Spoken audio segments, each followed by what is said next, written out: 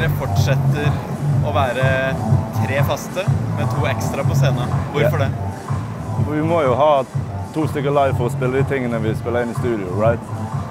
Men jeg vet ikke, bandet gjør ting på forskjellig måte, og for oss så fungerer det her veldig bra. Liksom. Det er det har fått oss her til. Og hvorfor skal vi forandre på det? Det er jo helt eh, løkt. Hvorfor det? Alle har hver sin rolle. Ja. Det er bare én rolle du har.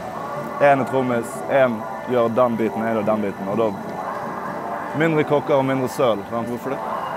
Eh, Det er ikke sånn at alle band i verden eh, har eh, alle fem medlemmer som lager musikken, f.eks. Det er fortsatt fem medlemmer, men det er kanskje nesten bare én som lager musikken, eller to som lager musikken. Eller det er noen som har en bedre evne til å lage musikk enn andre. Derfor så er vi vi tre som alltid har vært Vi vet at det fungerer. Og de som er med nå, har ikke bevist at de kan lage noe som fungerer i Pokémon ennå, så da blir det sånn. Hvorfor det? Du flipper på oss, du. Fy faen. Nei, hvorfor? I don't know. Sånn er det. Ja. Man må være kritisk også. Eh, Hvorfor man er være kritisk til seg sjøl, så må man være